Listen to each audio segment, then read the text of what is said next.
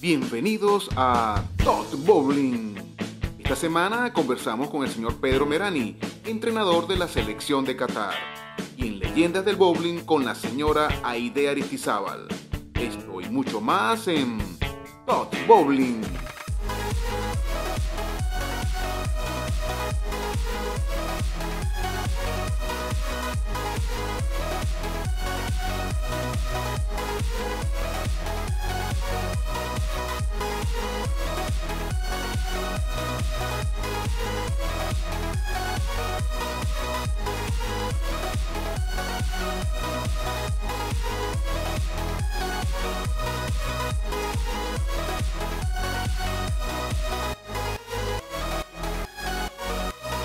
Comenzamos Talk Bowling conversando con el señor Pedro Merani, una referencia del bowling argentino, actualmente el entrenador de la selección de Qatar.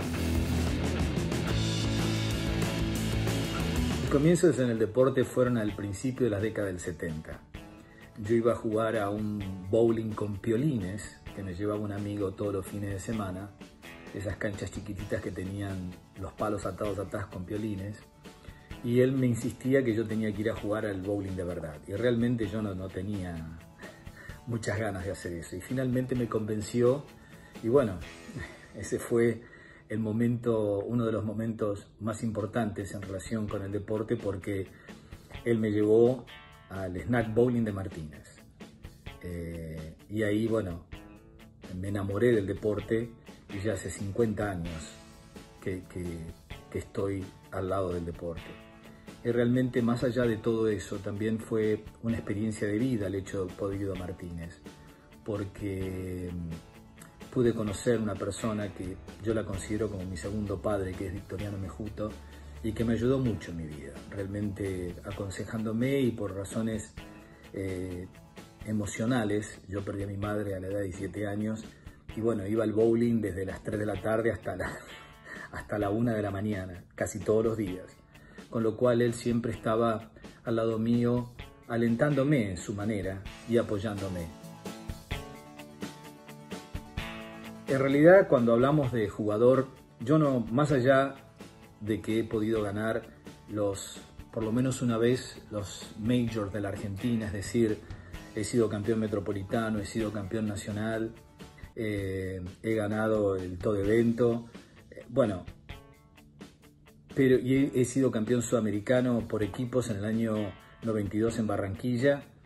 No, mi mente hoy, analizándolo, mi mente no estuvo estructurada en ese momento para ser un jugador. Eh, el jugador necesita ser muy analítico, eh, muy intuitivo eh, y muy robótico en, en muchas cosas. En cambio, yo soy un creativo, entonces he encontrado el bowling para poder expresar mi creación. Entonces estoy siempre investigando, nunca me quedo absolutamente con nada. Y eso para un jugador no es lo mejor, porque evidentemente siempre hay algo que estás tratando de cambiar y eso no es bueno. Entonces mi experiencia como jugador, más allá que ha sido buena, siempre estuvo eh, detrás el coach, el coach que quería ayudar al otro, he ayudado a los jugadores que competían conmigo, es decir, todos los que me ganaban eran coachados por mí, así que... En el año 1986, contra viento y marea, la Asociación Argentina de Bowling me nombra a mí técnico de la selección. Yo en ese momento era una persona bastante discutida debido a mi carácter, a mi forma de ser, eh, entonces, y además era muy joven, porque tenía 29 años y era designado técnico de la selección, donde todos los miembros del seleccionado eran mucho mayores que yo. Y además, por supuesto, como te dije antes, era una persona discutida. Pero bueno, la asociación eh, tuvo esa visión y había algo, sin lugar a dudas, en mi personalidad que llevaba a, tomar esa decisión. Eh, yo venía, había estado, había debutado en el Panamericano Juvenil, eh, que fuimos a Mampote, fuimos a Caracas, Venezuela, donde por supuesto la actuación fue regular. Pero lo bueno para mí personalmente fue que conocí a mi primer mentor en bowling, que es el coach de Canadá, que era Ray Mitchell, que él me ayudó muchísimo en mi carrera. Yo de ahí me fui a Estados Unidos con toda esta locura que él me había dado y me quedé como tres semanas, por supuesto, estudiando todo el tiempo el bowling y, más que nada había algo que me había despertado mucho que era la parte mental. Cuando vuelvo, bueno, estoy a cargo de la selección nacional y empiezo con todo este trabajo nuevo y nos vamos al Sudamericano de San Pablo y ganamos el Sudamericano de San Pablo. En el año 2003 eh, viajo a Kuwait y empiezo mi carrera internacional. Ganamos la primera medalla de oro en la historia de Kuwait en un campeonato internacional. Es en el Campeonato Asiático Juvenil, en dobles, que batimos a la pareja de Australia y uno de los miembros de la pareja de Australia era un chico que tenía bastante futuro llamado Jason Belmonte. De ahí, de Kuwait, me fui a Hong Kong, donde en Hong Kong ganamos medalla de oro en todos los campeonatos asiáticos, en todas las categorías, es decir, en el sub-18, en el sub-23 y algo que no hacía Hong Kong hacía mucho tiempo, back to back en los campeonatos asiáticos de mayores. Eh, esto eh, hizo que la gente de Qatar, que hasta ese momento había sido uno de los mejores equipos del mundo, ponga los ojos en mí para trabajar en el programa de desarrollo de Qatar, de los juveniles. Entonces me llaman y ellos lo que querían que un, coach realmente de elite se encargue de los juveniles. Normalmente eh, lo que sucede en los programas es que el entrenador nacional y su asistente es el que se encarga de los, de los, de los juveniles y ellos lo que hicieron, quisieron hacer algo totalmente nuevo. Y yo aproveché la oportunidad del conocimiento que nosotros teníamos los argentinos del programa que había hecho Peckerman con la selección juvenil argentina.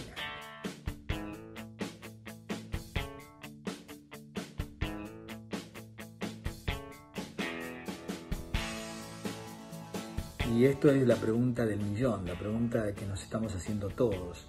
Eh, yo creo que va por otro lado. Nosotros eh, tenemos que entender qué es lo que el bowling está necesitando para realmente ser considerado un deporte.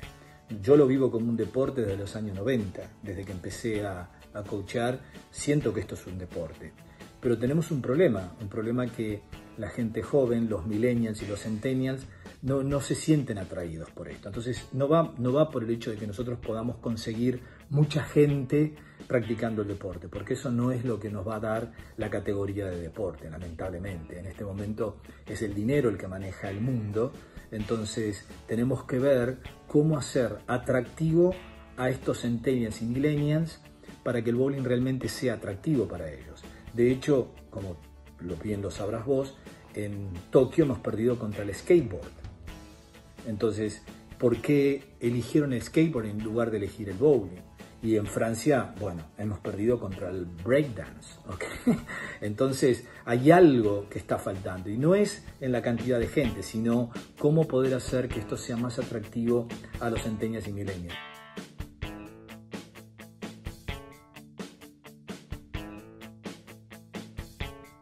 En relación al trabajo específico, eh, nosotros, yo lo que hice fue aumentar el volumen y la intensidad del entrenamiento. Esa es la base de todo. Es decir, desde el principio esto fue tomado como un deporte, entonces nosotros entrenamos eh, tres horas por día durante cinco veces por semana. Es una locura, pobres chicos. Eh, dos veces por semana trabajamos la parte mental, una hora y media cada sesión. Y además, así que ahí ya tenés una carga de 18 horas semanales. Y además eh, trabajan individualmente la parte física. Entonces, ese es el trabajo específico que hacemos y por supuesto tiene cargas, periodos de carga, periodos de descarga y periodos de eh, recuperación. Esa es la base de todo. Entonces, nosotros, la asociación, o digamos la federación catarí entendió cómo trabajamos nosotros y por eso tenemos prioridad durante el año. Ese es el trabajo específico que hemos hecho. Entonces, las sesiones de entrenamiento cuando tenemos cargas son muy pesadas, son muy pesadas porque están basadas en drills, está basado en ejercicios específicos que se hacen durante más o menos una hora. Después se trata de incorporar eso, eso lo que se hizo durante una hora y finalmente se, hace, se deja jugar, pero es muy poquito. Entonces esas son cargas que duran aproximadamente eh, uno o dos meses. Eh, realmente tengo que hablar maravilla de mis chicos. Félix, yo eh, agradecerte personalmente que, me llames realmente es, maravilloso, pero lo que yo tengo que hacer es agradecerte a vos por lo que estás haciendo por el bowling nacional, por el bowling de la Argentina. Realmente es un trabajo eh, fenomenal lo que estás haciendo y espero que tengas el éxito y la gente te acompañe.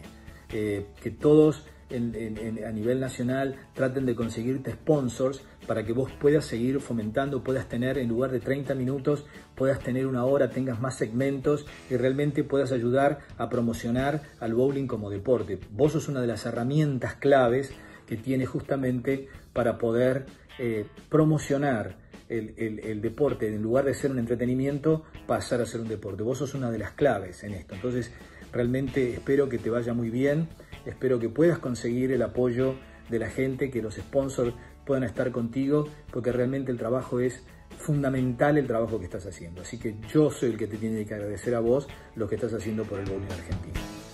Muchísimas gracias. Te saluda Pedro Merani desde acá de Doha, Qatar.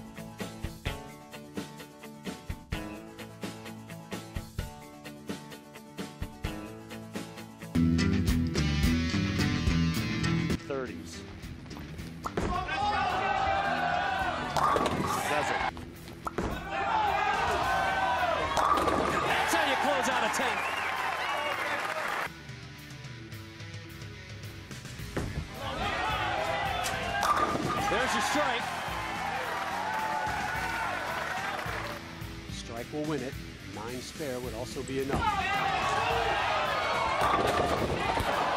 Got to take care of the 10 pin to move on.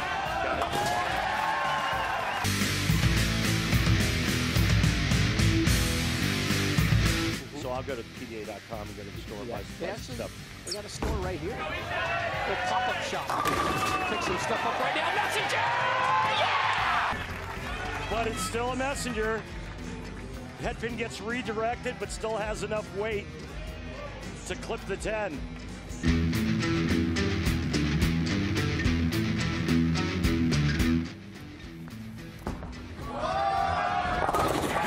was about halfway down the lane when he put his hand up and said, yep, that's got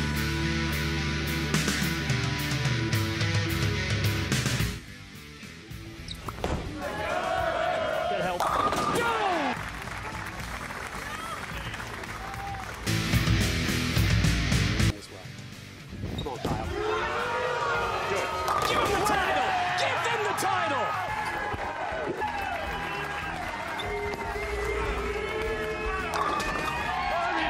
Strike for good measure. Oh, man. I think it's relief for Svensson as well because he knew what was going on for Kyle. You know, what a title means for him and his dad and the entire family. Oh, we did it, man. We did it. Where's our top?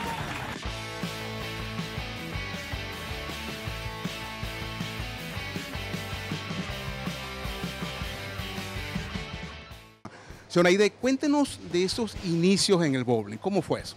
En realidad yo vengo de, una época que el bowling eh, no se jugaba en confiterías, se jugaba en los clubes. Y en Argentina sabrás que los clubes tienen una función social importantísima. Yo era nadadora y dejé la natación para jugar bowling, pero para los chicos, una especialidad que internacionalmente se ve muy poco. Pero bueno, a los 17 años salí campeón argentina de palos chicos. ¿Y ahí hizo el cambio para bowling? Para palos grandes. En realidad, ¿qué sucedió? Un entrenador, que en realidad después fue entrenador, era jugador a esa altura, viaja a Estados Unidos y trae las películas de palos grandes, que en aquella época era Dick Weber. Este, y bueno, yo me quedé impactada, todo el mundo me criticaba que por qué dejas, si sos campeón argentina de palos chicos, inclusive en el club, en la institución les parecía mal. Y yo digo, las dos cosas no puedo jugar porque era más técnico. Para los chicos era más intuitivo, te diría. No había nadie que nos enseñara y nosotros íbamos jugando, corrigiendo, pero nada más que eso. cambio, para los grandes me, me enfrentó a una cosa que yo sé que ustedes buscan, que es entender que es un deporte. Yo lo comparo mucho con el golf para que la gente lo pueda entender, que parecen movimientos simples, pero no es así y para hacer buen promedio, ser competitivo, digamos, tenés que adquirir una técnica que a mí no me permitía jugar la otra especialidad. Tenía una opción. Y empecé a jugar y me costó mucho, ¿eh? Me costó mucho pasar de sentirme que en palos chicos era alguien importante y en palos grandes no le ganaba a nadie. El primer sudamericano que se juega, yo creía que tenía que clasificar para jugarlo y me quedé afuera acá y se hacía en Argentina, así que para mí fue terrible. Y ahí me empecé a dar cuenta que en este deporte la parte mental era tan importante como la técnica y la parte física, cosas que, bueno, voy a decir mi edad, yo tengo 71 años, eh, te estoy hablando de 40 años atrás, no se tenía todavía conciencia de la importancia que tenía la parte mental. ¿Y de cuántos campeonatos nacionales estamos hablando, señora Aide? Cuatro, cuatro campeonatos. aparte tengo varios subcampeonatos, por eso nunca lo digo con certeza, porque algunos dicen que tengo seis. Yo tengo en mi memoria esos cuatro, digamos, que fueron especiales para mí. Y después yo siempre tuve la suerte de competitivamente estar entre las primeras jugadoras. Realmente tuve buenas actuaciones a nivel sudamericano y vos lo podés saber hoy, que es muy difícil ganar un torneo sudamericano. Eh, nosotros contamos con Venezuela y Colombia, que son potencias reales. Eh, y bueno, yo pude ganar eh, un torneo sudamericano, pude salir segunda en otro en Venezuela, que había ganado el todo evento, es decir, el total de palos total, y después en la escalerilla perdí. Y realmente me quedó un palo 10 que lo perdí. Y me lo regaló el dueño de la bolera, me regaló el palo 10, que fue un trofeo que tuve mucho tiempo en mi casa. Después tuve buenas actuaciones en mundiales, que siempre digo, a ver, vamos a entender que la distancia entre un mundial y un sudamericano es abismal. Y en los AMF, que jugué en tres, en los tres clasifiqué a la instancia final, digamos, pero en un nivel que quedaba entre el décimo, te diría, décimo puesto, un décimo. Nunca jugué bien esa última etapa. ¿Y dónde jugó esos mundiales, señora Aide? Jugué en Sudáfrica, jugué en Kobe y jugué en Las Vegas. El torneo de Las Vegas fue el que me decidió a dejar de jugar. Yo tenía 50, 51, ponele, y me doy cuenta que yo jugué un torneo excepcional para mí, o sea, fue el mejor torneo en mi carrera, pero las chicas jóvenes seguían jugando con total naturalidad físicamente y yo las 12 últimas líneas que se juegan las 12 juntas, yo físicamente no daba más. Entonces dije, yo estoy equivocada, porque es real que hay una traba que no la puedo pasar y no, no significa nada. Es como yo digo cosas que a lo mejor no lo toman a bien, pero digo, no, no me significa que mi país gaste plata en mí si yo siento que eso no lo puedo pasar. No era que me había faltado entrenamiento, que había tenido mala suerte, no. No. Me ganaron porque estaban mejor habilitadas para jugar al ritmo que se juega hoy. Tenemos en Top Bowling una campaña que es la siguiente. ¿Cómo podemos hacer para las personas que ven el bowling como un entretenimiento? y lo vean ahora como un deporte a lo que usted llegó también?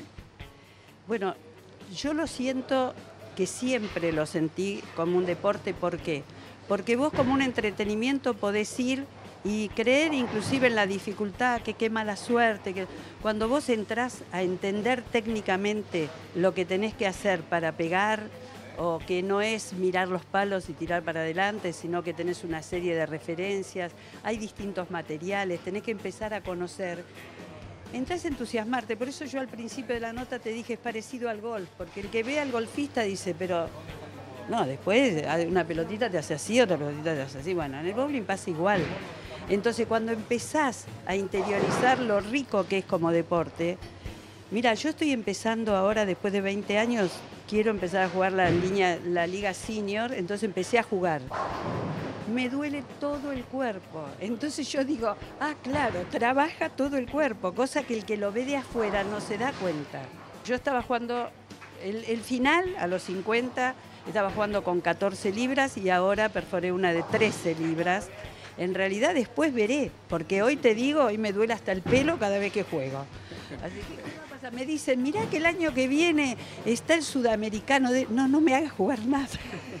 Digo, empecemos a divertirnos, a que esto sea volverme a encontrar con un montón de gente que, te digo, entro al bowling, para mí es muy gratificante porque digo, es el momento del año que más abrazos recibo. Vienen, me abrazan, me besan, digo, ¿y por qué dejé esto? No sé. El reconocimiento a una leyenda. Bueno, puede ser, puede ser. Yo no me doy cuenta de eso. Pero bueno, eh, para mí eh, fue mi vida. Nosotros tuvimos una boleta, digo nosotros porque con mi ex marido eh, tuvimos una bolera durante 18 años. O sea, para nosotros fue nuestra vida. Yo empecé a jugar a los 17 años y dejé a los 52. Realmente habiéndome dedicado plenamente, yo tengo tres hijos y ninguno de los tres juega. Y yo siempre digo, lo que pasó es que le faltó mamá muchas veces, porque viajé mucho, tuve la suerte de estar siempre bien, digamos, a nivel así, eh, selección nacional, y bueno, y eso implicó que los dejé más de una vez. Señora Aide, muchísimas gracias por haber estado con nosotros en Talk Bowling, en la sección Leyendas, y enviarle un saludo a los televidentes del programa. Un gusto ante todo y que Ojalá esto sirva para que les sirva a ustedes para tomar este deporte como lo que es, que es hermandad, que es un montón social que uno no se da cuenta y que es físicamente muy importante. Muchas gracias. La señora Aide en Leyendas del Bowling. ¿Quieres organizar un torneo de bowling con tus compañeros de trabajo? ¿Necesitas asesoría? ¿Estás interesado en un espacio publicitario? Recuerda que la publicidad no es un gasto, es una inversión Puedes comunicarte con la producción del programa al número que aparece en pantalla o por nuestros correos electrónicos. Comenzamos las breves informando que la Federación Cuyana de Bowling inició sus actividades 2020 el pasado domingo 15 de marzo con el torneo de bowling Palos Grandes de Caballeros en la modalidad de parejas. El pasado domingo 15 de marzo, el australiano de 36 años, Jason Belmonte, derrotó al estadounidense Anthony Simonsen en el Campeonato Mundial de Store PBA 2020 efectuado en Las Vegas, en el estado de Nevada, en los Estados Unidos. Con este resultado, Belmonte logra su segundo Major de la temporada, el decimotercero en su carrera con el equipo Belmont y el tercer título consecutivo de la PBA World Championship. Y finalizamos las breves Talk Bowling informando que motivado a la pandemia del coronavirus, todas las actividades relacionadas con el bowling a nivel regional, nacional e internacional están suspendidas hasta nuevo aviso. En nombre del equipo de Talk Bowling, a cuidarnos todos.